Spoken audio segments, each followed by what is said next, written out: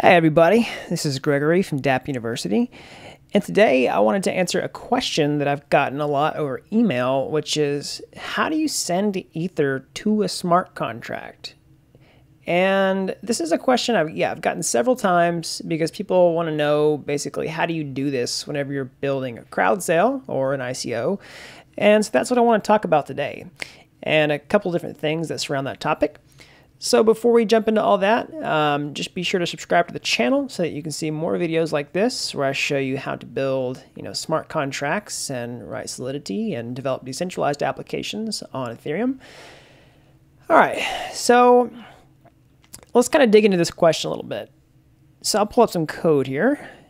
Um, I'll pull up a crowd sale smart contract that uh, I've written in a previous tutorial. This basically is, you know, a smart contract that uh, handles a crowd sale of an ERC20 token on Ethereum, um, or an ICO if you're, you know, if you're familiar with it from that way, um, or a token sale, depending on, you know, what you want to call it.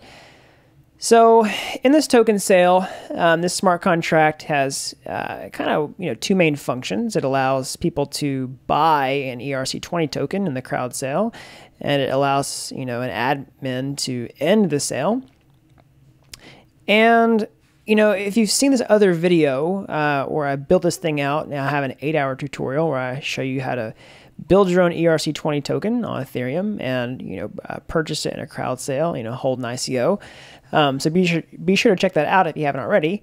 Um, but you know, in that video, we built this you know buy tokens function to basically allow someone to purchase the ERC20 token, and you know we built a website that allows you to um, you know interact with the token sale or the crowd sale, and you know enter as many tokens as you'd like, and you know purchase them with a form right here. And you know this requires you to have MetaMask installed and you, you would submit this transaction um, in order to purchase the tokens. And that was sort of our, you know, model uh, crowd sale that we built that way. So a lot of people have asked me like, you know, so how do you do this if you didn't want to, you know, build a form, um, you know, if you didn't want people to purchase these tokens like this without having to call the buy tokens uh, function, like how would you do that? Um, and the answer is you want to be able to send Ether directly to the smart contract um, to call this function directly. So I'll kind of explain that a little bit. Um, you know, people. The reason people ask me this is uh, a lot of production ICOs, uh, a lot of production uh, crowd sale websites don't have a form like this where you enter the amount of tokens you want to purchase. Um, instead, you know, a lot of them will have a uh, different, different phases uh, of the ICO where you know tokens will cost a different amount. You know, they'll be uh, cheaper at the beginning, et cetera, et cetera. And um, you know, as it goes up, the token price will change. And um, instead of having a, a, form right here where you would, you know, um, purchase the tokens, you might uh, have to be compliant with your crowd sale. You might have to do like a KYC registration or something like that.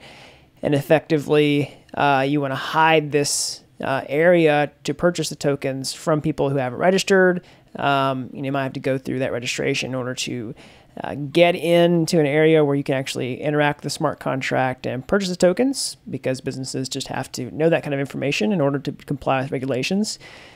Um, and when they get in there, basically, people aren't purchasing tokens with a form like this. They're basically saying a smart contract address and you know sending Ether to the smart contract uh, with something like MetaMask or MyEtherWallet, and they're not actually interacting with the smart contract on the website. The smart contract, you know, is just on Ethereum, and they give you the smart contract address, and um, essentially you just send Ether to the contract in order to purchase tokens or invest in the crowd sale um, by some other means like that.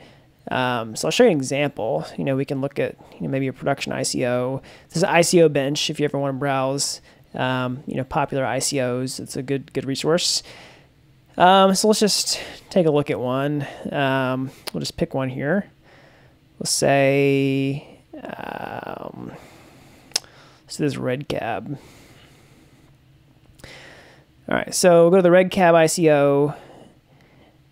And, all right, so token sales live. Uh, you know, it's got this countdown timer here. Um, pre-sale, crowd sale, hard cap, uh, progress meter. So we're going to buy tokens. Um, so, you know, they're, they're saying you can join the whitelist or buy tokens. Um, we'll click this and right, this takes us to a new page uh, with the smart contract address. And it says, you know, we're in tier three of the crowd sale that lasts for these dates. Um, and this is the, you know, ether redemption rate. So basically like, um, this is the smart contract address for this crowd sale.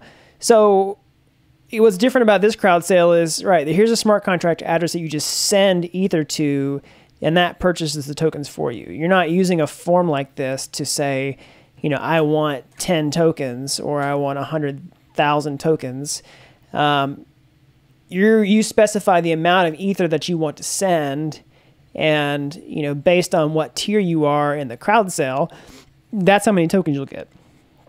So, uh, how would you do that? How would you write that in a smart contract? How would you uh, have a way for you know your smart contract to know all that kind of information and purchase tokens? Well, I will show you. So yeah, here's our um, you know smart contract that we wrote. It has you know the buy tokens function and end sale.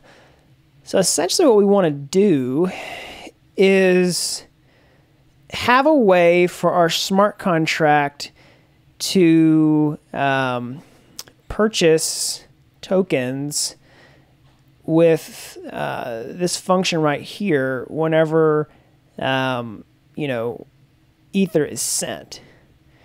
And we can do that by creating a function that's going to get called whenever ether is sent to this smart contract so essentially what you would want to do is, uh, you know, create a function that gets called whenever ether is sent to the smart contract. And we do that like this. You say function, um, and you basically just give it, you know, an, an, empty function with no name. And this function is going to uh, get triggered uh, when we say, we have to say it's external and payable.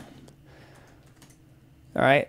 And basically, uh, whenever you send Ether to this contract, this function is going to get called because external.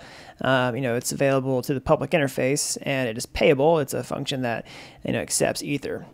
And so basically, what we'll do is we'll wrap this buy tokens uh, function, and yeah, we're basically just going to um, call it whenever Ether sent to this contract. So basically, you know, this function, whenever we call it, the console is going to have some metadata. Uh, it's going to have access to the, the global object MSG or message. It's going to have MSG.sender, right, which is the person sending Ether to the contract. And it's going to have MSG.value, which is the amount of wei, the amount of, you know, Ether essentially that's getting sent uh, because this is payable. And, you know, if we were going to actually do this and design this contract to accept Ether like this, we probably want to refactor this buy tokens function a little bit. Um, but for now, I can just show you how to. Uh, I can just show you like how you could pass this in. You could say, um, we'll say, how will we calculate the number of tokens? We could say, you basically have to say like you know MSG dot uh, value, um, you know, the amount of ETH that's getting sent.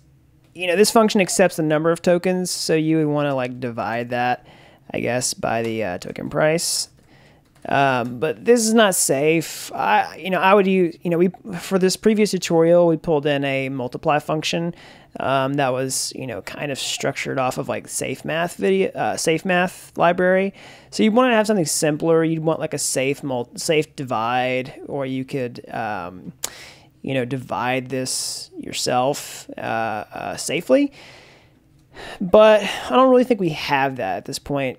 Um, so yeah, I mean, If I were gonna re- rewrite, I would have basically rewrite how this works uh, to accomplish what I'm going to do. Um, and that's kind of more than I'd really planned to do for the video today. I kind of wanted to just answer this question for a lot of people who have asked me. Um, so instead of like refactoring this whole thing to show you exactly how it would work, uh, I kind of wanted to just give you the high level overview of what you would do um, to you know build a crowd sale smart contract um, that would accept uh, a token you know purchase like this where you could just send ether to the smart contract and it would actually buy tokens and go through the whole thing. So this is you know loosely based off of you know the uh, crowd sale that I've built out my previous tutorials, and so I kind of wanted to just uh, build off of something you guys have probably already seen before and show you how you could change it yourself um, for you know another another way. And so maybe I'll um, do some more videos about how you could build a crowd sale a couple different ways. So if you guys are interested in that and kind of seeing more videos about how to build crowd sales and seeing more videos about ERC20 tokens and what you can do with them, just let me know down in the comments below. Um, yeah, and also while I'm here, I wanted to mention something about this function, right? So you can yeah, this is a function that's going to get called anytime Ether is sent to a smart contract. So if this weren't a crowd sale and it was some other type of smart contract, you know, say you just want to deploy um, another smart contract you'd written to you know Ethereum, and people are sending Ether around, right? So sometimes, like, what happens if you, you accidentally sent Ether to a smart contract that you didn't mean to, right?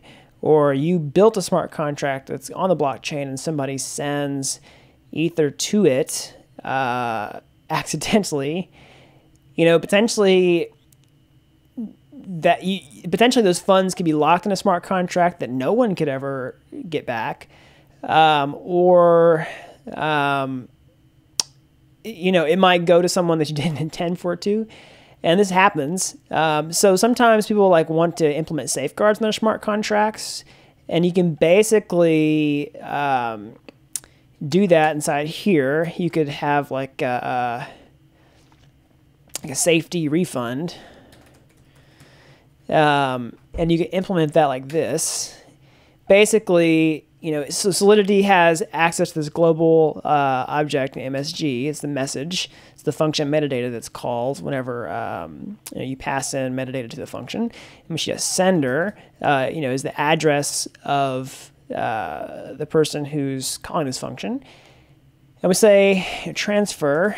Um, you know, transfer basically, you know, sends Ether from one account to an, you know to this account, um, and we just say MSG value and that basically issues a refund.